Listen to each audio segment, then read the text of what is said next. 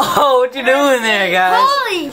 What's up, guys? MTV here. Um, Set up the sand. we just spilled Gatorade all over the ceiling. So, Save the world. Okay.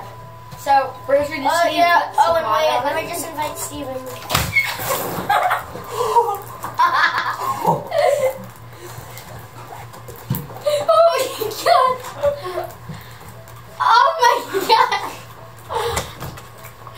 What the fuck?